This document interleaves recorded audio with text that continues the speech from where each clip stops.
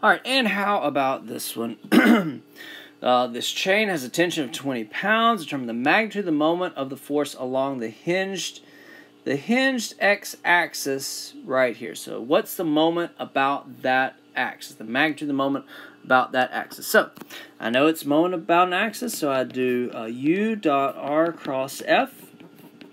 And then I kind of ask myself, okay, what uh, what axis? So this is kind of the x-axis. So this would be the u of the x-axis. Hmm, let's think about that. Uh, this would be the R that goes from the axis to the force, and this is the force 20, but I got to break it in I's, J's, K's. That might be the hardest part about this problem, taking that 20 and breaking it into its components. All right, so here's my U. this is the U. what is the unit vector of the axis? What is the unit vector of the x-axis? Do you already know that? If, if you didn't know it, what was our process? Our process was we kind of did R over R. This is definitely not necessary for this one, but kind of like an ROC to ROC.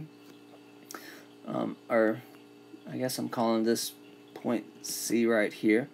Um, so that axis, I, I, I could kind of think about it this way. It's kind of like a 5 in the I divided by its magnitude. Why did I divide by its magnitude? Because it requires a U, right? And U's we divide by their magnitude so that they're unitless and dimensionless, or and unitless and magnitude of 1.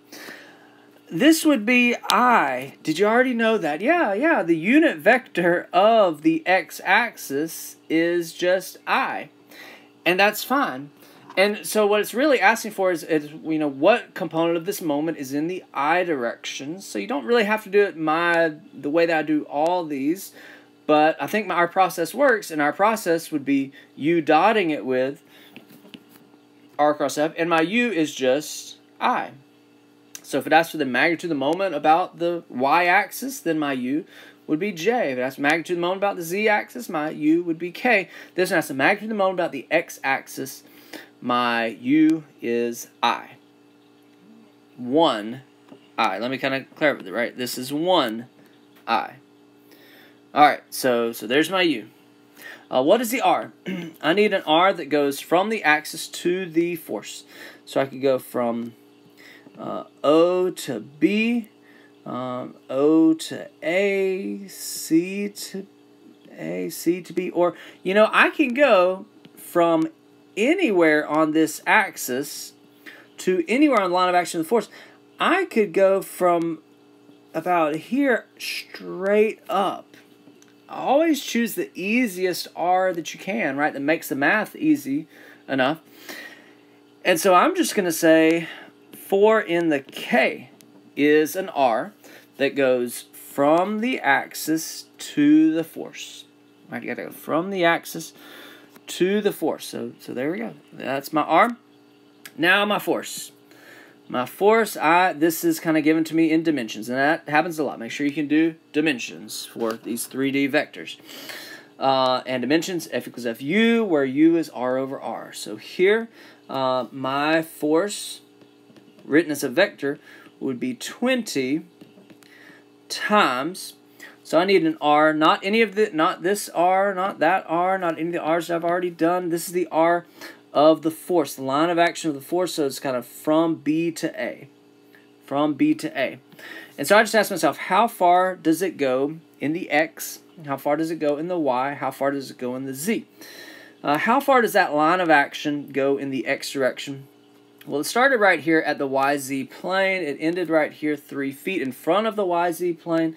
That one was the easy one. It goes positive 3 in the x direction. How far does it go in the y direction? Here's where it gets a little bit more tricky. Uh, do you see this door is 3 feet, but that's that dimension. Uh, it's kind of a little bit up here. Let's draw like a right triangle. It has a hypotenuse of 3. What is this base right here? 3 cosine 20. And so that base of the door triangle, that would be the distance it goes back, back 3 cosine 20 in the J. Did you, did you get that?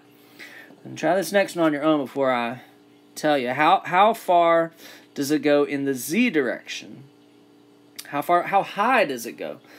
Well, we got to figure out, it, it doesn't just go 4 up because it is already off the ground a little bit. So it doesn't quite go 4.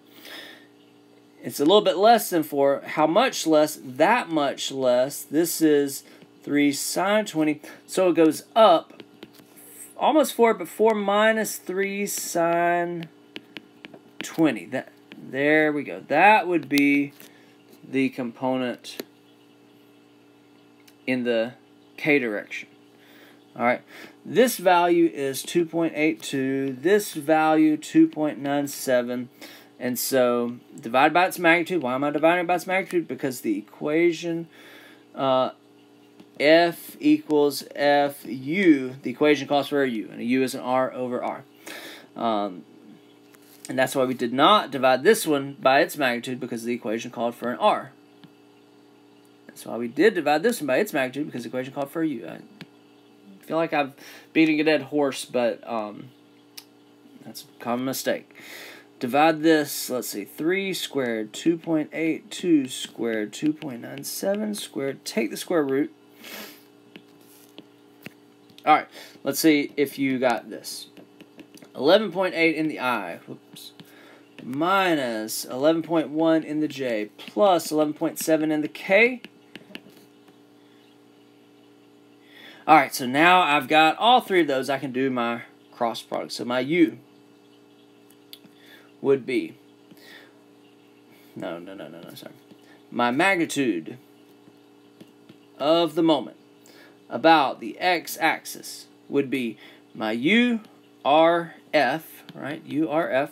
So this would be, my U is, is I, which is 1, 0, 0. My R is 4 in the K, 0, 0, 4. And then my force, 11.8, negative 11.1, 11.7, and do this. So this would be 1 times that minus 4, negative 11.1. And then this one times 0, this one times 0. Uh, so really that's it. The magnitude of the moment about the x-axis would be 44.4 pound feet. Right? Needs units. Leave the units as whatever the force units are and whatever dimensions units are. Magnitude of the moment about the axis is 44.4. Now let me just make sure it asked, did it ask for the magnitude or did it ask for the actual moment yeah, magnitude. So just leave it right there. I don't have to multiply it times. It's u. So there we go.